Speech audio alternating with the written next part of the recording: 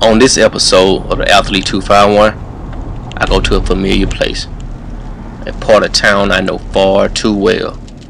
A place that has taught me a lot. A lot about education, a lot about success, and a lot about being a man. But it has also taught me firsthand the harsh reality of poverty. A place where churches are packed on Saturdays and tears fill my people's face. Welcome to TMV, a place where kids get the best training ever. This is the Athlete 251 show with JueB. For this episode, I must go to Mimosa Drive and Somerville Street to find a man himself, the legend, JueB, doing what he does best. Come on now, think, think, think. Think when you're tired. But JueB's home has been damaged by fire, a place where thousands of athletes have come through and made their way to the back room. It's no longer. The only part of this home that did not get touched by the fire is a historic workout room. As I walk into the room, chills flows throughout my body from all the athletic history in front of me, behind me, and on top of me.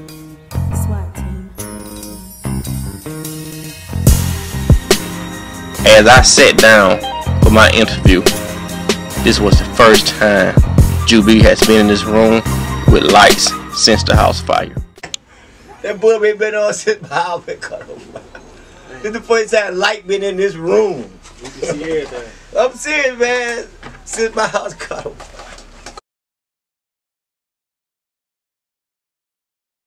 Would you? My my life? Yeah. Ooh, maybe around about 1972.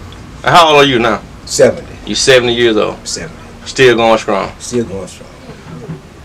Do you still feel like you're in top shape right now at No. 70 years old? No, because I'm aging every day. So when you age every day, you have to stay on top of it. See, even though you're in good shape, the aging process is still going on. So I'm constantly training, stay on a certain level. What do the um what do your doctors, you know, think of you training at this age? Most of them are amazed that I'm still doing some of the things that I do. But most of the things that I do are some of the things that doctors prescribe people to do anyway. I'm, I'm just a guy that's been ahead of ahead of the game, so to speak. Uh, I was fortunate enough to be able to learn these things at an early age and carry it on to my later life. Do you, do you do you think your your work ethic we're talking about towards the athletes, the kids themselves, do you think your work ethic or the knowledge you have motivate these athletes to go as hard as seeing you going hard as you go? You think that motivate them? Well, you know, that's that's a good point. You know, see, I'm from the old school, and I believe in teaching, not instructing. So when you instruct a person, you're more or less telling them what to do. Exactly. But when you get involved, you're actually showing them what to do, and you get more respect for the individual. So I believe that has a big input on the preparation with them. I'm just looking around this room. I'm gonna go into my next question, but what, what does the room bring back to you as far as feeling just sitting here looking at all this this this stuff you have in here? It brings back all the great kids I've had a part in their life with. It brings back times when I've had a chance to watch kids grow from a dream to a fulfilled career, like with Hamill. You know, I remember when he was a kid and he always dreamed of going to the NFL. And so together we worked toward that goal and he was able to achieve it. So when I look around, it's, it's, it's like a historical uh, museum. It's always a place where you can come back and look back and let people see that if you have preparation and desire, you can achieve things. So I use this to, to help motivate the young kids I'm dealing with. Now, Mhm. I, I show them that where there's a will, there's a way. And some of the people right here in Mobile, just like uh, Tee Martin, Jamarcus Russell, just to name a few, have been through here. And once these guys realize that they can achieve those same levels coming through here, it helps me in, in the preparation Yeah. whole lot. Do you ever go to any of these high school guys you train on games? I try not to. You try not to. I What's the reason behind to. that? Huh? What's the reason behind that? Because if I if I go, uh, it tends to take away from my, from what I do. See, I'm a performance trainer. I'm, Mhm. I'm more like I'm more like watching you. But I don't like to go to the game, but I like to hear what went on at the game Yeah. then I'll confront you with it. I don't like to be there. Yeah, I got you. I'm not that type of guy. What was sports like for you growing up? Did you play any sports coming up in life? Oh, I played football, I ran track, and I was blessed to be at a school, Williamson, Mm-hmm. at the time where um, we went from the first to the 12th, and I was able to play high school football in the eighth grade. Oh, okay. So it, it got me into football at an early stage.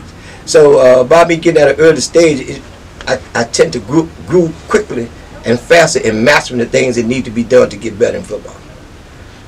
Let's talk about your training for a second here.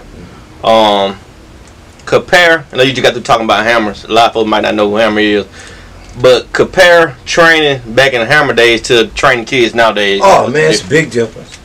It's a big difference. One of the biggest difference is, like I tell kids all the time, it's a lot of ways. You can turn on the TV today and see a lot of ways, but it's a way and a right way. So what I do today, especially when your kids got 24/7, you can train out 24/7, and you have kids now that are more motivated to achieve. So it's not hard for me to really put them in a situation where they have to demand so much of themselves because they really want to achieve those levels. I just got to show them that they can improve, and once I show them they can improve, then the, the road is easier to travel. Well, I, I might know the answer already, but who is your prize athlete you train through your whole career? Wow, that's a hard question. your prize athlete. That's All the athletes that hard came question. through here. Male Who or was your prize? Male or female? Athlete. It doesn't matter. Male or female? It doesn't matter. Athlete. Female, Coates. Holly Coates. Coates is the greatest female athlete I have ever came across. And I for mean, folks who don't know who she is, who is she? she played basketball at LeFlore, was an outstanding basketball player. She went on to play at um, uh, Georgia State. She was a successful Division One basketball player, and uh, she just was special. She had skills that most women don't have, and matter of fact, she was in better shape than some of the guys were. Yeah. So it'd be Holly Coates. Uh, male, that's that's tough. I couldn't. I don't know. That's tough. That's tough for you. I trained so many great athletes. It's, Exactly. It's, it's tough. But I could say DeMarcos McNeil. You know, I could say Leonardo Costa. I could say team. I so many guys I could say. I'm just fortunate enough to say where I've been around a lot of great athletes, and I had a lot of opportunities to be a part of their careers. I'm- Yeah. I'm proud of that. What what today's let's go back to the today's athletes. What do you see they lack when they come to you for the first time? Feet.